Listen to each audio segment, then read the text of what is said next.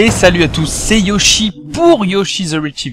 On se retrouve aujourd'hui, enfin, c'est pas trop tôt, euh, pour le test de The Evil Within Psycho Break, hein, euh, en version japonaise, développé par Tango Gameworks. Donc c'est quelques employés de, Capcom hein, euh, qui sont partis de chez Capcom et de Platinum Games. Et c'est le premier jeu du studio euh, sous la direction euh, du grand Shinji Mikami qui fait son retour. Donc euh, Shinji Mikami, hein, le père de, la série Resident Evil, mais également producteur, je crois, sur sur Dino Crisis, sur God End et sur Vanquish, hein, qu'on avait connu aussi dernièrement avec Vanquish. Ça fait un petit moment. Donc là, c'est vraiment son son grand retour. Euh, c'est édité par euh, Bethesda, euh, qu'on ne, qu'on ne présente plus, et c'est sorti le 14 octobre 2014 dans ma vie, et c'est sorti sur One, 360, PS3, PS4 et PC. Voilà. Donc The Evil Within, comme je vous disais, c'est voilà, c'était un jeu qui était quand même assez attendu, le retour du survival horror. J'ai terminé le jeu, je voulais absolument terminer le jeu avant de vous de vous montrer un petit peu, euh, de vous présenter le, le, titre. Là, je vous montre un petit peu la galerie des personnages. C'est un petit bonus qu'on a euh, accès, dans lequel on a accès en fait en terminant le jeu. Euh, et ça fait d'ailleurs vachement penser à, à Resident Evil 5 hein, au niveau des, euh, des petites figurines là qu'on peut euh, qu'on peut récolter. C'est sympa. Écoutez, il y a d'autres bonus, hein, notamment quand vous terminez le jeu, un New Game Plus avec de nouvelles armes et un autre mode de difficulté qui a été concocté par les développeurs. le mode de difficulté, on va dire quasiment quasiment impossible. Donc là, vous avez vu justement Sébastien Castellanos, qui sera un des, des personnages qu'on va incarner. Bah, personnage principal, hein, tout simplement, c'est euh, un inspecteur de police de, Crimson City. Euh, et c'est un personnage, mine de rien, que j'ai trouvé pas mal, qui a un certain charisme. Il ressemble d'ailleurs, j'ai trouvé euh, pas mal à, Léon, Kennedy. De Resident Evil 6. Il a un petit, un faux air, on va dire. Hein. Et donc on va partir du coup sur une partie que je vous ai chargée, vous voyez que j'ai fini le jeu en 20h09 euh, en difficulté survie. Après vous avez la difficulté euh, je crois cauchemar et euh, la difficulté Akumu que vous développez que vous débloquez une fois que vous avez terminé le jeu. Donc moi j'ai pas mal galéré hein, mine de rien. 20 euh, pour terminer le jeu. Euh, parce que moi en tout cas c'est un jeu que j'ai vraiment vraiment bien apprécié. Donc comme je vous disais, on incarne Sébastien Castellanos, inspecteur de, police de Crimson City. Euh, on va en apprendre un peu plus au, fur et à mesure euh, de l'aventure sur lui. Euh, on va apprendre qu'il est marié, qu'il a une fille. C'est ce qui est dommage, c'est que c'est un, personnage qui aurait pu être davantage poussé sur son sur son background. Je trouve qu'ils sont restés très très très en, en surface. Euh, on va avoir quelques petites révélations, hein, bien entendu, sur sa vie, sur son histoire en tant que en tant qu'inspecteur de police de Crimson City, mais ça va pas non plus être un truc de fou. Euh, je pense qu'ils auraient voilà, ils auraient vraiment pu pousser euh, un petit peu son, son background un peu plus loin, euh, parce qu'il voilà, ça aurait, ça lui aurait donné du charisme supplémentaire, même si c'est vrai qu'il a une certaine gueule, il a du charisme, mais bon, ça aurait pu être un, un petit peu plus poussé. Alors, l'histoire de ce Evil Within, euh, bah en fait c'est assez simple au départ hein, sur le sur le constat. On va se rendre en fait sur les lieux euh, d'un multiple homicide avec euh, avec notre équipe, hein, donc l'inspecteur Kidman et également l'inspecteur Joseph Oda, qui sont des personnages somme toute assez lisses j'ai trouvé dans l'aventure. On n'apprend pas beaucoup sur eux. Bon, on voit que visiblement euh, Joseph et Castellanos euh, font équipe ensemble et qu'on leur a collé un peu dans les pattes euh, Kidman, qui est une, une rookie, un peu une, une bleue de la police, qui va être là pour pour apprendre un peu sur le terrain avec eux. Et on apprend dans les différents documents qu'on va, comment dire, qu'on va ramasser au cours du jeu, que Castellanos l'aime pas trop. Il a l'impression qu'elle est là un peu pour les espionner, etc., plutôt que pour apprendre. Vous voyez ici, on est dans l'hôpital psychiatrique de Curden Kay. Euh, non, l'hôpital euh, psychiatrique de Beacon, pardon. Euh, c'est là où le hub central du jeu se situe. Vous avez vu les différents casiers en fait euh, qui nous permettront de récupérer certains équipements euh, tout au long de l'aventure au moyen de clés qu'on trouvera dans le jeu. Je vous montrerai peut-être un petit peu un petit peu plus tard. Ici, euh, au moyen de cette petite euh, signature, ça vous permet de sauvegarder, ça fait vachement penser euh, notamment aux machines à écrire de Resident Evil, et vous verrez que ce sera pas le, le seul clin d'œil qu'on aura à la série dans l'aventure qui a de multiples inspirations une nouvelle inspiration ici, vous voyez, euh, qui me fait penser un petit peu à Dead Space, un petit peu à Saw, c'est vraiment un melting pot hein, de tout ce qui s'est fait le mieux dans le jeu de action horror, ce Evil Within. Ici, voilà, sur ce siège-là, vous allez pouvoir vous upgrader en fait vos, capacités, donc les capacités de stock, c'est-à-dire porter euh, plusieurs euh, plus de munitions, des capacités aussi où vous allez pouvoir améliorer vos armes, votre équipement et vos aptitudes physiques. Mais ça, on va y revenir une nouvelle fois tout au long de la présentation. Voilà. Donc comme je vous disais, il se rend sur euh, sur le lieu d'un multiple homicide euh, à, à l'hôpital de, de Beacon. Et euh, bah, Sébastien Castellanos va découvrir tout simplement tout un tas euh, de cadavres, mais vraiment c'est le multiple homicide, c'est un truc de fou. Le, c'est vraiment le théâtre, si vous voulez, d'un massacre il euh, n'y a pas d'autre mot. Et c'est un début du jeu qui est quand même assez euh, assez flippant. Ça annonce la couleur, euh, mine de rien. Et dès les premières minutes du jeu, donc c'est pas vraiment un spoil, on va rencontrer en fait une, une sorte de de force maléfique puissante, mystérieuse et assez flippante. avec une capuche blanche, la tête brûlée, et franchement, dès le départ, ça va annoncer la couleur. Euh, Sébastien Castellanos va se retrouver un petit peu pris en embuscade quelque part. Il va se faire assommer. Et euh, bah, comme vous l'avez peut-être vu dans les dans les trailers, euh, Sébastien va se va sortir de comment dire euh, de l'hôpital. Il va se retrouver assommé en fait et pendu par les jambes. Et il y aura un espèce de boucher sur une table en train de découper un cadavre. Et je vous en dis pas plus. C'est des choses que vous avez peut-être vu un petit peu dans les trailers. Donc en fait, euh, Castellanos va se retrouver à fuir ce fameux hôpital où il y a eu un, massacre et euh, le décor en fait la ville de, Crimson City va se retrouver en proie à des tremblements de terre de ouf avec des modifications de, de paysages complètement dingues avec le sol qui s'effondre etc et euh, voilà je vais pas vous spoiler davantage mais il se passe vraiment des des événements euh, assez curieux euh, dans cette ville. Euh, et franchement, c'est au, départ, on se retrouve un petit peu euh, dépourvu devant ce scénario assez complexe, qui semble assez complexe. On se dit putain, on va rien comprendre. Et c'est vrai que mine de rien, le scénario est quand même assez compliqué.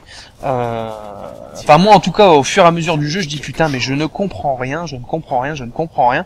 Euh, ils auraient gagné vraiment à simplifier le, le scénario euh, qui est lié en fait au destin de cette fameuse cette fameuse silhouette à capuche avec le visage brûlé et on va apprendre l'histoire en fait de cette force mystérieuse tout au long de l'aventure. Alors c'est vrai que c'est assez long à se mettre en place.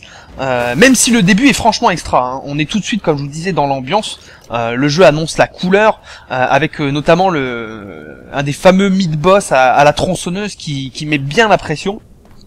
Mais passé une heure, le scénario va caler carrément. une heure de jeu, le scénario va caler et on comprend plus rien. Euh, on se pose des tonnes de questions, comme je vous disais, on est sans réponse pendant très très très très longtemps.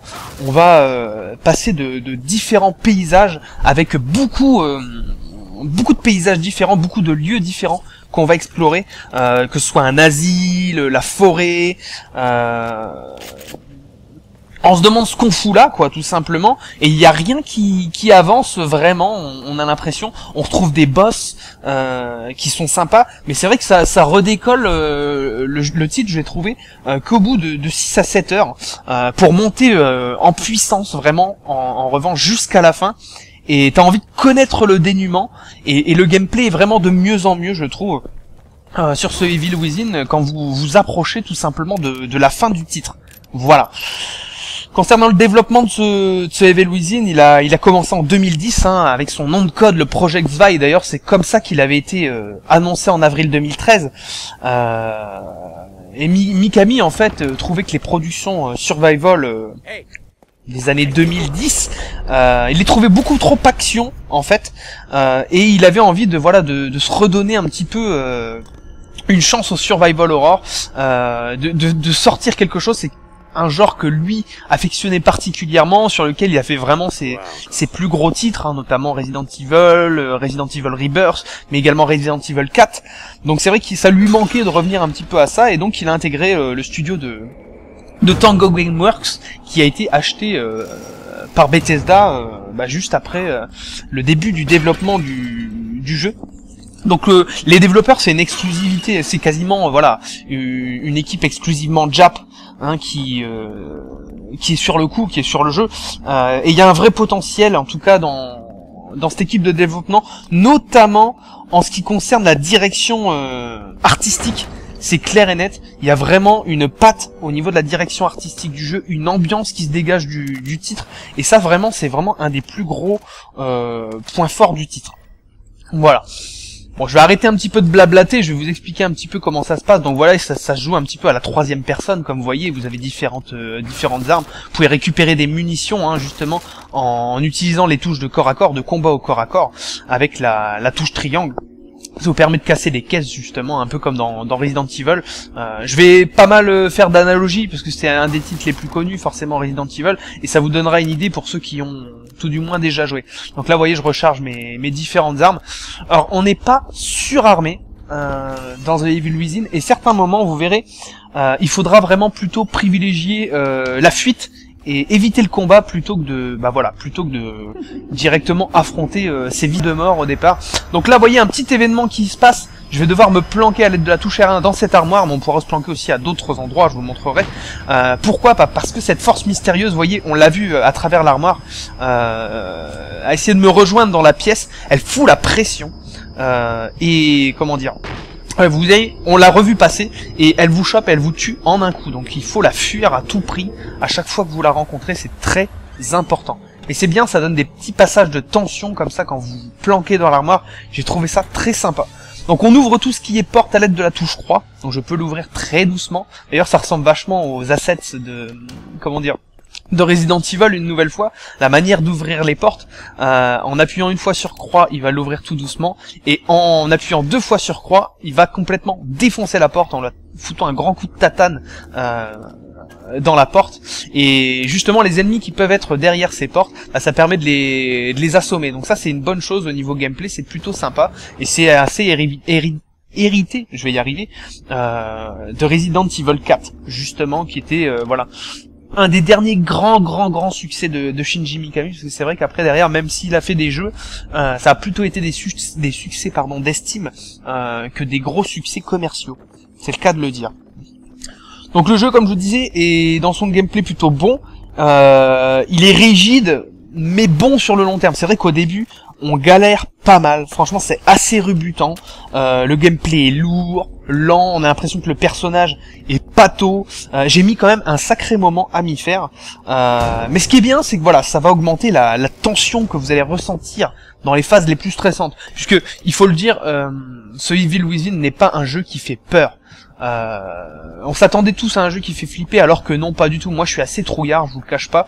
Vous voyez là, on peut une nouvelle fois se cacher sous la table. Bon là, j'ai fait une, j'ai merdé, je voulais pas le faire, mais bon voilà, ça vous montre un peu qu'on peut se planquer un peu dans, certains recoins à certains moments avec la touche R1 très facilement et il y a le souffle justement du personnage qui qui augmente pendant ces phases là donc ça c'est plutôt sympa aussi ça renforce un peu cette euh, cette ambiance un peu oppressante donc ouais je vous disais le le gameplay ressemble pas mal à celui de Resident Evil 4, avec un petit peu plus de, de souplesse, euh, mais plus de lourdeur. Bon, on n'est pas sur un Chris Redfield de Resident Evil 5, hein, qui était vraiment à 38 tonnes, un camion de ouf, qu'on pouvait pas maîtriser. Là, c'est totalement différent. Euh, avec ce Evil Within, on a quand même une certaine souplesse, euh, donc ça, ça fait plaisir. Même si on reste sur quelque chose d'assez raide et d'assez rigide. Vous voyez, les zombies, il y aura un bestiaire pas mal euh, durant tout le jeu. Je vous expliquerai un petit peu plus tard. Et donc là, vous voyez, on va commencer à sélectionner les armes pour euh, rentrer en combat. Donc faudra être assez malin, user de stratégie. Vous voyez là, le piège qui est en face du mur. J'ai la possibilité bah, directement de le dégommer à l'aide de mon flingue pour le faire exploser. ça va m'éviter de, de, gâcher quelques munitions précieuses. Parce que même si on a beaucoup d'armes dans ce dans ce The Evil Within, mine de rien, euh, il faudra économiser vos munitions parce que vous aurez jamais 50 munitions de fusil, etc. Donc là, vous voyez, fusil à pompe qui est une arme relativement relativement efficace lors des combats. Donc moi c'est vrai qu'au niveau du gameplay j'ai galéré au début. Euh, les deux premières heures j'arrêtais pas de crever. Franchement euh, je me demandais si c'était peut-être pas un rapport avec euh, l'upgrade du l'upgrade du perso. Mais au final j'ai récupéré pas mal d'armes hein, comme je vous disais. Euh, vous avez le revolver, le fusil de chasse, euh, le fusil sniper, le couteau que vous pouvez utiliser uniquement en infiltration. Je vous montrerai ça juste après. des grenades et une arbalète avec différentes flèches donc le craft est possible d'ailleurs hein, sur sur l'arbalète. Vous allez fabriquer vos propres munitions euh, euh. Donc elles sont limitées toutes ces munitions, faut le savoir. Euh, vous serez jamais surarmé à la manière d'un Rambo, mais c'est sympa parce que ça va renforcer un petit peu ce, côté survival, euh, où vous allez utiliser aussi des projectiles, euh, des haches, utiliser voilà ces, ces fameux pièges euh, qui sont dans l'environnement. Alors attention à pas ce qui se retourne contre vous, mais euh, ils sont désamorçables aussi, ce qui vous permettra de fabriquer des munitions. Ça, il faut le savoir. Et, euh, et voilà, dans l'ensemble, en ce qui concerne les, les armes, il y en a euh, d'autres qui sont débloquables en New Game Plus, hein, comme je vous disais, la mitraillette, le lance-roquette et euh, un autre flingue, je sais plus, ouais, le, le, Magnum que vous avez vers la fin du jeu. Vous voyez, là, j'ai désamorcé ce piège, ce qui me permet de récupérer quelques petits matériaux. Euh, d'ailleurs, ça fait vachement, euh, vachement penser à The Last of Us. Je crois qu'on pouvait le faire ça dans dans The Last of Us, désamorcer les, pièges. Je suis plus très sûr, mais il y a une petite inspiration une nouvelle fois The Last of Us euh, dans ce titre. Vous voyez mon inventaire que je peux avoir à l'aide de la touche R3, le stick R3, euh, qui va euh, ralentir le temps mais pas le bloquer. Attention, donc le jeu continue toujours pendant ces moments-là. Donc là on récupère la hache, c'est une arme de poing, ça permet d'économiser vraiment ses, munitions. Je vais vous montrer une petite phase de, euh, gameplay. Euh, là ici je ramasse du gel vert, hein, donc il y aura pas mal de bocaux comme ça que vous allez récupérer tout au long du jeu. Ici une flèche euh, d'arbalète. les bocaux en fait, ce gel vert va vous permettre tout simplement d'améliorer votre personnage sur la fameuse chaise de torture là que je vous ai montré dès le début. Donc ça c'est sympa, vous en récupérez des, litres et des litres, mais croyez-moi, à la fin du jeu, vous aurez toujours pas amélioré votre personnage en entier. dans la zone de douleur Ici on se retrouve dans une euh, petite phase euh, qui moi m'a fait penser à Dead Space euh, où vous allez voir justement devoir placer des pas des électrodes mais voilà des des, tiges là dans un cerveau humain, un truc un peu dégueulasse, pour débloquer un mécanisme d'une porte. Donc c'est assez bien foutu, ça m'a fait penser à Dead Space. attention, si vous vous loupez, vous perdez de l'énergie. Euh, donc ça, c'est fait partie des petites phases de gameplay assez simples, mais qui viennent ponctuer un petit peu euh, ce Evil Within euh, et, et, changer un petit peu des combats ou de l'exploration et de l'infiltration. Et on reste quand même dans un truc un peu assez gore, mine de rien. Euh, ici, vous voyez deux fantômes. Je vais pas vous spoiler, euh, et d'ailleurs, je vais, je vais avancer pour pas vous en montrer trop, parce que ça fait partie vraiment du, du scénario principal du, du, jeu. Donc voilà, si vous voulez découvrir un petit peu qui sont ces, ces deux fantômes, bah, c'est important, voilà, de, de faire le jeu, parce que moi, je vous en dirai pas plus au niveau scénario. Le scénario, malgré tout, il est quand même sympa, euh, bien qu'il soit un petit peu, un petit peu complexe voyez, hop, on se retrouve avec un nouveau zombie qui arrive ici. Donc là, je voulais me, le faire en infiltration, je vais essayer de vous montrer juste après. Euh, parce que c'est pas forcément évident, comme je vous dis, le, le gameplay est assez rigide. Euh, mine de rien. Et les ennemis surtout sont très coriaces, vous voyez. Une balle de fusil à pompe en pleine tête ne suffira pas. Euh, pour buter ces, cet ennemi. Là, donc là, je peux essayer de le, défoncer un petit peu au corps à corps, ce qui est toujours sympa avec la touche triangle. Bon, Castellanos est très mauvais au corps à corps. C'est, je déconseille hein, la première fois que vous faites le jeu. Euh, c'est vraiment pour étourdir les personnages. Vous voyez là, je l'ai étourdi en lui jetant un projectile et paf Un peu comme le surin de The Last of Us, je peux lui planter un couteau dans la tête, ce qui va me permettre de le one-shotter directement.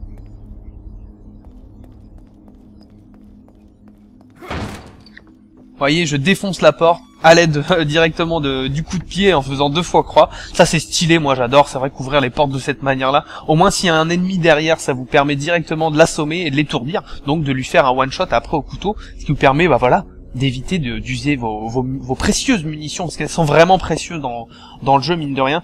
À certains moments, euh, j'ai dû recharger, euh, bah, notamment au, chapitre 14, c'est-à-dire l'avant-dernier euh, chapitre du jeu, il y a 15 chapitres. Dans le jeu. J'ai dû recharger ma, ma partie, hein. j'ai fini le jeu en normal. Euh, je me suis pas mis en facile, parce que c'est vrai qu'il est recommandé de le faire en facile, c'est pas forcément évident. Euh, en normal, euh, j'ai dû recharger euh, une partie parce que j'arrivais pas à, tuer un boss.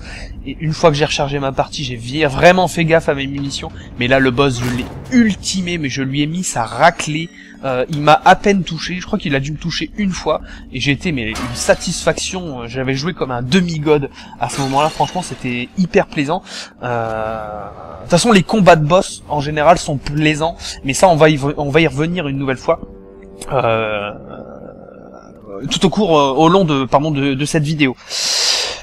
Alors comme je vous disais au départ, on n'est pas taillé pour le, combat, on, demande même si, si ça va le faire parce qu'on se retrouve blessé et en boîte au début du jeu, on est hyper lent, euh, on est lourd, la caméra est parfois pas un peu capricieuse. Mais bon, ça s'améliore au fur et à mesure et surtout le problème euh, du jeu c'est que le champ de vision quand vous visez est vraiment trop proche et ça, ça, ça a tendance mine de rien quand même à gêner. Voyez, directement, hein, ils vous font très mal les ennemis, euh, systématiquement. Il faut avoir recours au corps à corps pour les étourdir un petit peu et à certains moments passer, parce que sinon, ça risque d'être euh, vraiment très chaud pour vous. Vous voyez là, j'ai une touche de sprint avec R1, euh, qui est limitée par la, vous voyez en haut à gauche, par la le petit arc de cercle rouge, donc je pourrais améliorer cette jauge de sprint, mais elle n'est pas illimitée, donc voilà, après Sébastien se retrouve essoufflé et il peut plus avancer. Donc ça c'est quelque chose à savoir. Euh, vous pouvez pas sprinter et courir pour éviter les, ennemis constamment. Euh, c'est pas possible quoi. Voilà. Euh, vous pourrez récupérer d'ailleurs votre énergie, un peu de condition physique en clignotant sur euh, sur la touche croix, ce qui vous permet bah, justement de récupérer plus vite votre comment dire votre endurance. Mais ça c'est vraiment un des trucs que je conseille d'ailleurs de de d'améliorer le plus rapidement possible c'est euh, votre jauge de votre jauge de sprint. Parce que franchement c'est là où euh, ça va vous causer le plus de difficultés parce que vous avez le réflexe de courir. Et malheureusement euh, bah malheureusement vous allez vous retrouver plus plus d'une fois essoufflé et les ennemis vous rattraperont et vont vous croquer directement. Donc je vous disais ouais le champ de vision est assez restreint euh, et bah malheureusement, euh, dans les couloirs un peu exigus, c'est franchement gênant. Ça renforce quelque part le côté mallette, le côté euh, un peu claustron. mais faut avouer que c'est un peu, c'est un peu galère ces bandes là parce que c'est super gênant pour viser. En plus, la caméra est hyper proche de Sébastien, un peu d'ailleurs comme comme c'est le cas dans, dans Resident Evil 6, et on peut pas régler la, comment dire la, distance de la caméra au personnage. Donc ça c'est quand même assez chiant, mine de rien. Il faudra faire gaffe. Vous voyez là, il y a un ennemi directement qui m'a vu. Ils sont pas cons les ennemis. Hein. Vous voyez avec l'œil là en plein milieu de l'écran, ça, ça veut dire que je suis repéré. Hein. Là, il me cherche directement et il a vu que je m'étais planqué sous le lit. Et direct, hein, il me ressort et me fout un coup. Euh, donc faut faire quand même assez gaffe parce qu'ils sont quand même très coriaces. Heureusement, le fusil à pompe est là et pour vous aider des petites allumettes que vous voyez une fois qu'ils sont étourdis, hein, pour les cramer à la manière de Resident Evil Rebirth, euh, pour éviter que ces, ces ennemis ne reviennent à la vie une nouvelle fois. Donc ça c'est pas mal mine de rien, j'ai bien aimé une nouvelle fois. Et ce qui est intéressant avec ces allumettes, c'est que vous pouvez en brûler plusieurs à la fois s'ils viennent directement vers vous.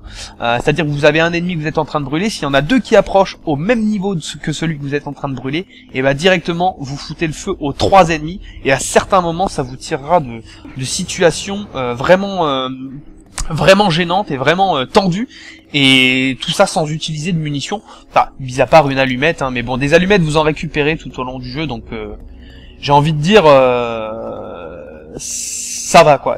Il vaut mieux utiliser une allumette que utiliser une cartouche de, fusil à pompe ou, une flèche d'arbalète euh, directement. Vous voyez petit passage une nouvelle fois un peu de mise en scène qui ressemble beaucoup à Dead Space moi je trouve.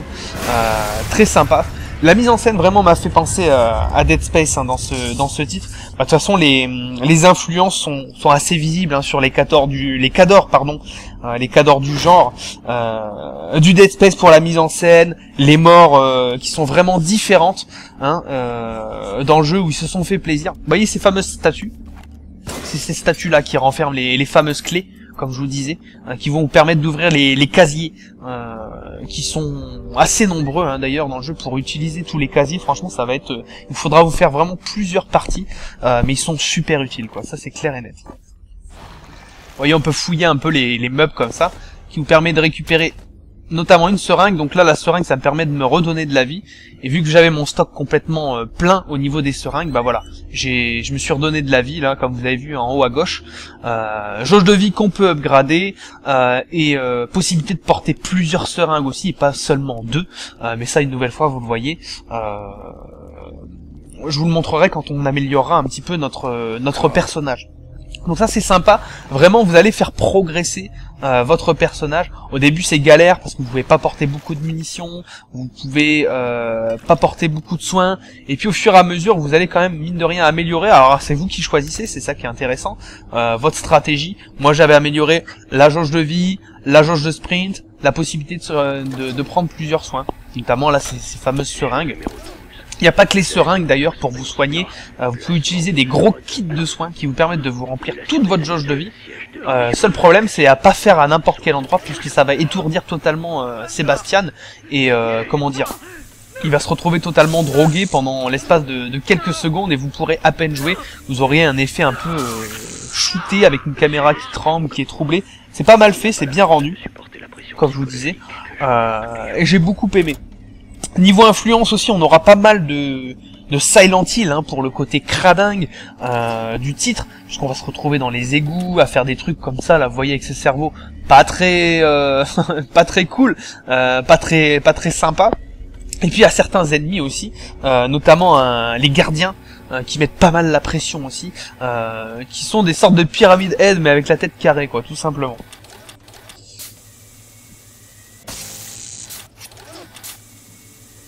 Du côté technique, euh, ce Evil Within, bah ouais, voilà, c'est pour moi c'était ok. Il n'y a pas eu trop trop de trop trop de soucis. J'ai trouvé les, les, décors dans l'ensemble corrects. Après c'est ça alterne entre le bon et le moins bon selon euh, l'endroit où on se trouve, euh, que ce soit en termes de texture ou même de euh, de clipping, notamment dans les décors en extérieur avec beaucoup de clipping, de popping. faut savoir que le jeu utilise le moteur ID Tech 5, donc c'est le moteur utilisé par les FPS de Bethesda, hein, comme comme Rage, comme comme Wolfenstein. Peut-être c'est pas forcément le meilleur choix. Euh, de toute façon, la technique n'est pas le point fort du jeu. Hein. Voyez notamment les bandes noires, euh, le format, euh, comment dire, cinémascope pour faire penser aux vieux films d'épouvante, aux vieux films d'horreur vraiment à l'ancienne. Euh, ces bandes noires, voilà, elles sont gênantes. Alors il y a des modes, je crois, sur PC pour les gicler. Euh, je pense que sur console, c'est un parti pris aussi. C'est pas forcément uniquement pour l'ambiance et qu'il n'y ait pas de, différence avec les cinématiques. À mon avis, il y a un côté technique aussi parce que le jeu ramait pas mal au départ euh, quand il nous l'avait présenté. Euh, dans les différents salons. Et c'est vrai qu'ils les ont ajoutés au dernier moment et ça permet d'afficher quand même moins de choses. Et bah voilà bah, forcément c'est beaucoup plus euh... oh là vous voyez. Lui il met la pression directe quand vous le voyez je vous assure qu'il fait flipper. Donc là forcément on court on court. Mais attention à la jauge attention à la jauge. Parce que non seulement elle peut vous rattraper mais euh, si vous vous retrouvez essoufflé là forcément euh, il va vous one shot direct. Donc là le but c'est totalement d'aller se d'aller se planquer pour aller l'éviter parce que comme vous dites il vous défonce, mais direct. Donc là, je vais me planquer. Donc là, je sais pas ce qui s'est passé, l'intelligence artificielle n'est pas extrême. Euh, ils m'ont pas vu.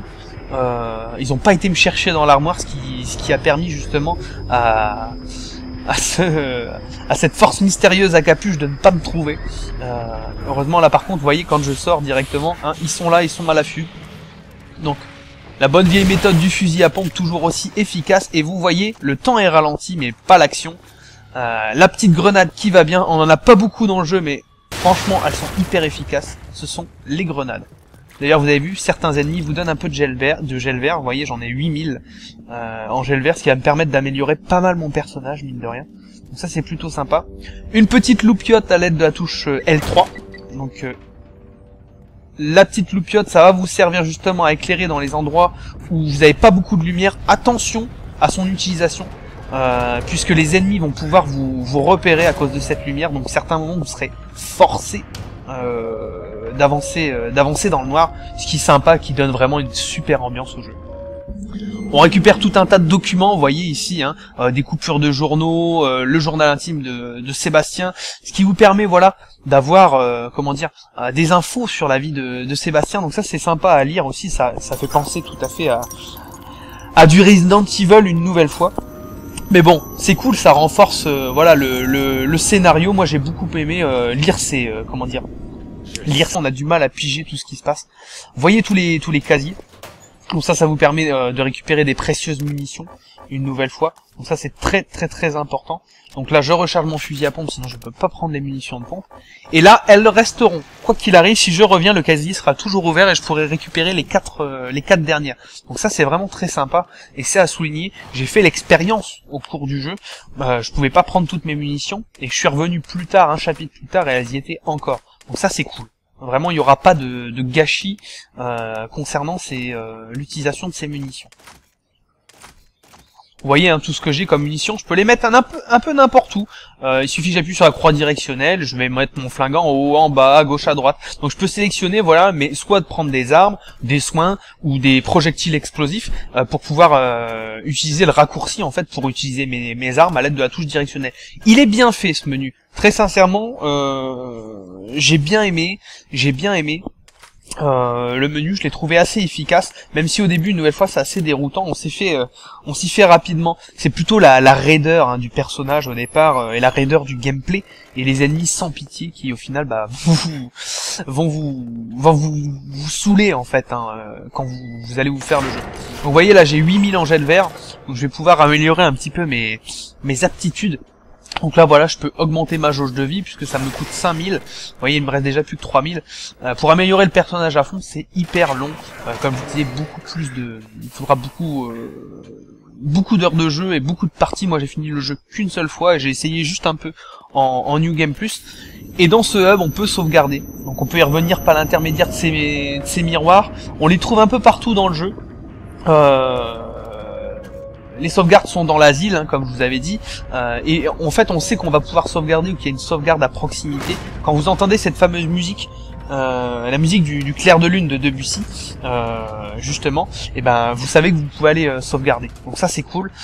et franchement les sauvegardes, elles sont salvatrices, mais elles font du bien, mais un truc de dingue. Euh, je vous assure que le jeu est tellement stressant, vous mourrez tellement de fois que quand vous avez soit un checkpoint, et croyez-moi les checkpoints sont pas super nombreux non plus, euh, ou une sauvegarde, ça fait plaisir. Franchement ça fait plaisir. Ouais, donc je vous disais, la technique est pas le point fort euh, du jeu. Mais bon, c'est un jeu voilà qui, qui aurait été très très bien en, début de gen. Euh, vraiment, il est sauvé quelque part par son ambiance. Vous voyez l'arbalète. Là, j'ai plusieurs types de projectiles, hein, soit des projectiles explosifs, des projectiles aveuglants, des projectiles qui, qui vous gèlent. Vous voyez le feu quand même est super bien fait. Euh, dans le jeu. J'ai trouvé franchement, il y a, vraiment des, bons petits points hein, techniques. C'est dommage hein, quand même que le jeu à, des moments euh, euh, peine un petit peu au niveau de la fluidité, etc. Parce que il y a vraiment des bons trucs. Il y a une super ambiance bien crasseuse qui fait vraiment rester, qui est angoissante. mais c'est dommage que la technique à certains moments suive pas, que ça ramouille un peu, parce que ça le fait. Concernant le bestiaire de Evil Within, il est hyper varié. Euh, multiple. Donc ça c'est vraiment un gros point fort euh, du jeu. Moi j'ai beaucoup apprécié. Donc vous avez du zombie, hein, comme vous avez vu un petit peu là. D'ailleurs le premier zombie rencontré c'est clairement un gros clin d'œil au premier Resident Evil. Euh, vous avez des monstres à, à, tentacules, un petit peu comme dans les Javos de, de, Resident Evil une nouvelle fois. des ennemis invisibles. Alors ça ça m'a fait halluciner très très bonne idée, l'ennemi invisible. Moi j'ai beaucoup aimé.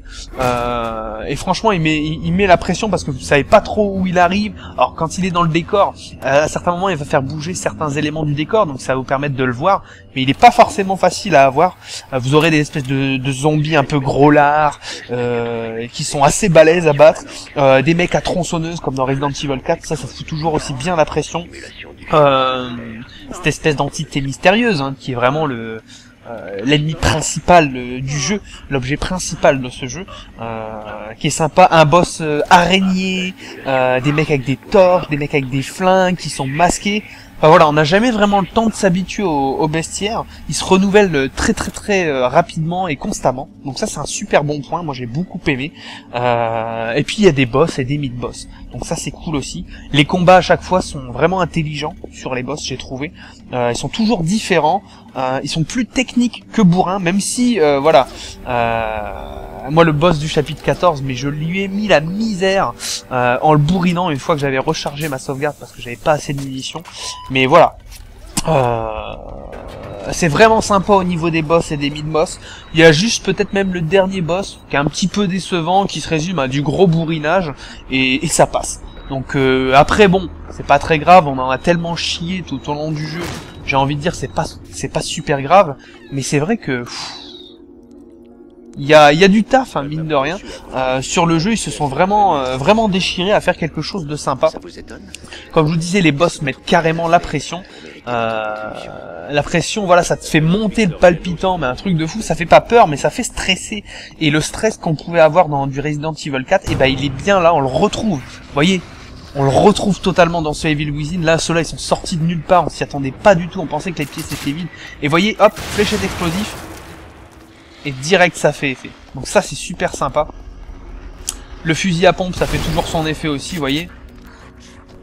Ça c'est le genre de zombie un peu gros lard justement. Donc eux avec le masque on peut pas leur tirer en pleine tête parce que leur masque les protège. Et voyez qu'il est armé donc il faut être assez rapide mine de rien. On peut récupérer du gel vert sur certains ennemis comme vous voyez. Attention vous avez intérêt d'être quand même assez équipé.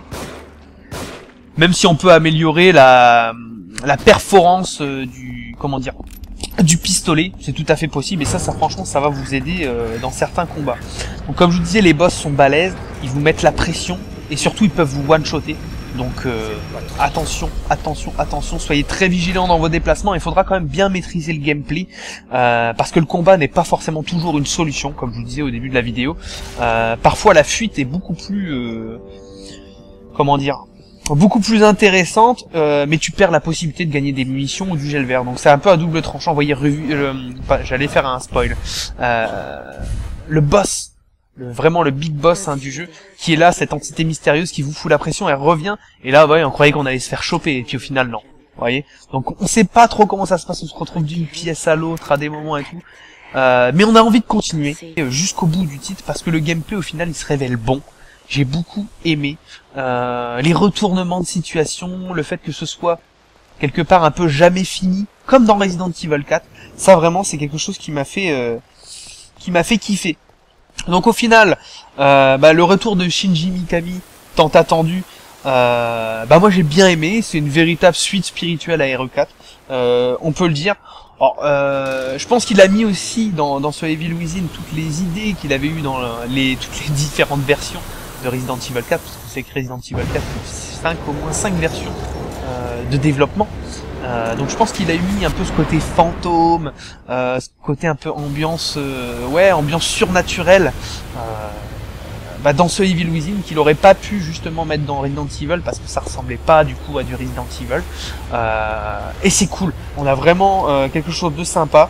Je pense que le jeu n'est pas aussi culte que Resident Evil 4 en son temps, mais euh, dans 10 ans, je pense pas qu'on s'en souvienne comme on se souvient aujourd'hui de Resident Evil 4 qui a vraiment révolutionné euh, le jeu d'action euh, à son époque. Mais ça en est pas moins un très très très bon jeu. Voyez une nouvelle fois là, des pièges carrément, un peu à la RE4. Hein.